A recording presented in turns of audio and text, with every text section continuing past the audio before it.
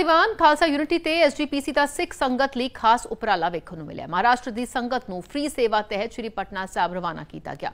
ਸੰਗਤਾਂ ਲਈ ਤਖਤ ਸ਼੍ਰੀ ਪਟਨਾ ਸਾਹਿਬ ਦੇ ਫ੍ਰੀ ਦਰਸ਼ਨਾਂ ਲਈ ਦੋ ਜੱਥੇ ਰਵਾਨਾ ਕੀਤੇ ਗਏ।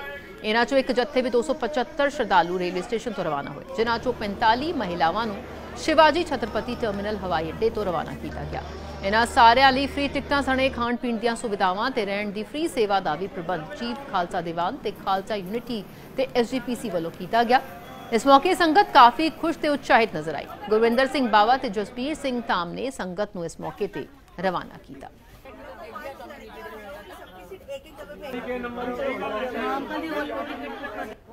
ਅੱਜ ਅਸੀਂ ਬੜੇ ਵਡਭਾਗੀ ਆ ਬੰਬੇ ਦੀ ਸਾਥ ਸੰਗਤ ਜਾ ਰਹੀ ਹੈ ਪਟਨਾ ਸਾਹਿਬ ਦਰਸ਼ਨ ਕਰਨ ਅਤੇ ਅਰਦਾਸ ਕਰਨ ਕਿ ਸਾਡੇ ਜਿਹੜੇ ਇੱਥੇ ਗੁਰਦੁਆਰਾ ਪ੍ਰਬੰਧਕ ਕਮੇਟੀ ਅੰਮ੍ਰਿਤਸਰ ਚੀਫ ਖਾਲਸਾ ਦੀਵਾਨ ਅਤੇ ਮੁੰਬਈ ਦੀ ਯੂਨਿਟੀ ਗਰੁੱਪ ਜਿਹੜਾ ਬਣਿਆ ਹੈ, ਉਹਨਾਂ ਦੇ ਸਦਕੇ, ਉਹਨਾਂ ਦੇ ਉਪਰਾਲੇ ਅੱਜ ਅਸੀਂ ਇਹ ਯਾਤਰਾ ਕਰ ਰਹੇ ਹਾਂ। ਇਹ ਜਿਹੜੀ ਸੰਸਥਾਵਾਂ ਨੇ, ਇਹਨਾਂ ਨੇ ਬੜਾ ਵੱਡਾ ਉਪਰਾਲਾ ਚੁੱਕਿਆ ਹੈ ਬੱਚਿਆਂ ਦੀ ਪੜ੍ਹਾਈ ਦਾ ਅਤੇ ਫ੍ਰੀ ਮੈਡੀਕਲ ਇਲਾਜ ਕਰਾਉਂਦੇ ਨੇ ਤੇ ਅਸੀਂ ਇਹਨਾਂ ਸਾਰੀਆਂ ਸੰਸਥਾਵਾਂ ਦਾ ਅਰਦਾਸ ਕਰਨੇ ਆ ਕਿ ਹੋਰ ਤੋਂ ਹੋਰ ਇਹਨਾਂ ਨੂੰ ਉਦਮ ਬਖਸ਼ੋ ਔਰ ਜਿਸ ਤਰ੍ਹਾਂ ਦੀ ਸੇਵਾ ਚੱਲਦੀ ਆ ਰਹੀ ਹੈ, ਇਸ ਤਰ੍ਹਾਂ ਦੀ ਹੋਰ ਕਰਦੇ ਰਹਿਣ। ਬੰਬਈ ਦੀ ਤੇ ਨਵੀਂ ਬੰਬਈ ਦੀ ਸਾਧ ਸੰਗਤ ਸਾਹਿਬ ਪਟਨਾ ਸਾਹਿਬ ਦੀ ਯਾਤਰਾ ਨੂੰ ਜਾ ਰਹੇ ਹਨ, ਜੋ ਕਿ ਤਕਰੀਬਨ 300 ਯਾਤਰੂ ਹਨ।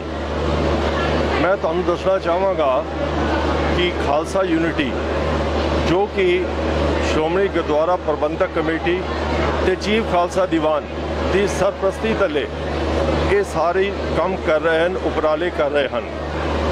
ਖਾਲਸਾ ਯੂਨਿਟੀ ਦਾ ਜੋ ਮੇਨ ਉਪਰਾਲਾ ਹੈ, ਉਹ ਮੈਂ ਤੁਹਾਨੂੰ ਦੱਸਣਾ ਚਾਹਾਂਗਾ। ਪਹਿਲਾ ਉਪਰਾਲਾ ਹੈ ਧਰਮ ਪ੍ਰਚਾਰ, ਜਿਹਦੇ ਵਿੱਚ ਕਿ ਬੰਬਈ ਤੇ ਨਵੀਂ ਬੰਬਈ ਦੇ ਵਿੱਚ ਗੁਰਪੁਰਬ ਮਨਾਏ ਜਾਂਦੇ ਹਨ ਤੇ ਸਾਧ ਸੰਗਤ ਨੂੰ ਫ੍ਰੀ ਤਖਤ ਸਾਹਿਬਾਨਾਂ ਦੀਆਂ ਯਾਤਰਾਵਾਂ ਕਰਾਈਆਂ ਜਾਂਦੀਆਂ ਹਨ ਤੇ ਬੱਚਿਆਂ ਨੂੰ, ਛੋਟੇ ਬੱਚਿਆਂ ਨੂੰ ਗੁਰਮੁਖੀ ਸਿਖਾਈ ਜਾਂਦੀ ਹੈ। ਇਹ ਸਾਡਾ ਮੇਨ ਧਾਰਮਿਕ ਉਦੇਸ਼ ਹੈ। ਦੂਸਰਾ ਹੈ ਸਾਡਾ ਜੋ ਉਦੇਸ਼ ਹੈ, ਉਹ ਹੈ ਮੈਡੀਕਲ ਏਡ ਜਿਹਦੇ ਵਿੱਚ M R I centre CT scan ਮੁਫਤ ਦਵਾਈਆਂ ਔਰ ਬਲੱਡ ਟੈਸਟ ਐਕਸ-ਰੇ ਇਹ ਸਭ ਫ੍ਰੀ ਹੁੰਦਾ ਹੈ ਖਾਲਸਾ ਕਾਲਜ ਦੇ ਵਿੱਚ।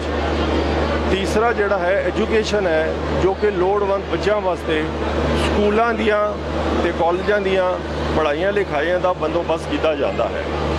ਤੁਹਾਨੂੰ ਮੈਂ ਦੱਸਣਾ ਚਾਹਾਂਗਾ ਕਿ ਛੇਤੀ ਹੀ ਅਸੀਂ ਇੱਕ 올ਡ ਏਜ ਹੋਮ ਬਿਰਧ ਆਸ਼ਰਮ ਲੋਨਾਵਾਲੇ ਵਿੱਚ ਖੋਲ੍ਹਣੇ ਜਾ ਰਹੇ ਹਾਂ, ਜੋ ਕਿ 70 80 ਆਦਮੀਆਂ ਦੀ ਰਹਿائش ਦਾ ਬੰਦੋਬਸਤ ਹੋਏਗਾ।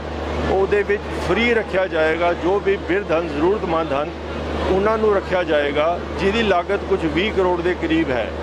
ਸਾਧ ਸੰਗਤ ਜੀ, ਅਰਦਾਸ ਕਰੋ ਕਿ ਅੱਜ ਜੋ ਯਾਤਰੂ ਜਾ ਰਹੇ ਹਨ, ਪਟਨਾ ਸਾਹਿਬ, ਉਹ ਸੁਖੀ ਸ਼ਾਂਤੀ ਵਾਪਸ ਆਣ ਤੇ ਤੁਸੀਂ ਦੁਆ ਕਰੋ, ਅਰਦਾਸ ਕਰੋ ਗੁਰੂ ਮਹਾਰਾਜ ਅੱਗੇ ਕਿ ਖਾਲਸਾ ਯੂਨਿਟੀ ਤੇ ਉਹਦੇ ਮੈਂਬਰਾਂ ਨੂੰ ਸ਼ਕਤੀ ਦੇਵੇ, ਬਲ ਬੁੱਧੀ ਦੇਵੇ, ਪਿਆਰ ਦੇਵੇ, ਏਕਤਾ ਦੇਵੇ, ਤਾਂ ਕਿ ਇਸ ਤਰ੍ਹਾਂ ਹੀ ਪੰਥ ਦੀ ਵੱਧ ਚੜ ਕੇ ਸੇਵਾ ਕਰ।